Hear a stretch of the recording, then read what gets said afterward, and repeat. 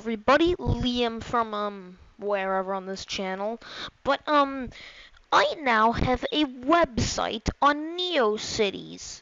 So um yeah, it's pretty unfinished as of right now, but um it'll be finished soon.